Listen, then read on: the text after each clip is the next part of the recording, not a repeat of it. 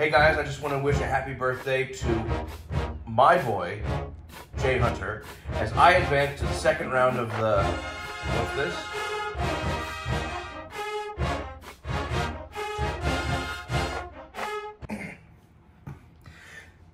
Okay, yeah, so I did get eliminated in the first round by Trevor Aon. You want a little bit of, mm, I got you, a little bit of demon coming right at you. You guys, you guys wanted to hear me uh, toot my horn? Excuse me, if you want to hear me play my horn, you're gonna have to buy a ticket. Where can you buy a ticket?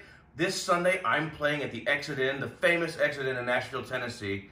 Uh, it's like five bucks. We're gonna have a little jam. We're gonna have some fun. Come on out. You know, you gotta drive from Knoxville. Hey, there's a road goes right up to your house, goes right up to my house. You don't know where I live. Let's keep it that way after some reflection, I get that, you know, what I was serving may not have been what you were wanting.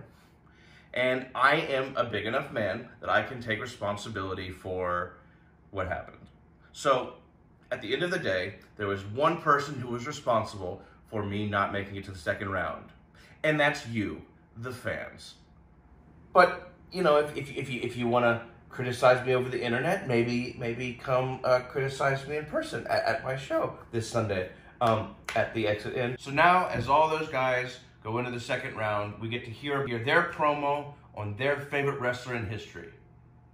Another question on your mind is, well, who would be who would be my favorite wrestler in, in all of history? And when I look at history, the one guy that I want to cut a promo on is the strong man, William Muldoon. Transatlantic accent and all, baby!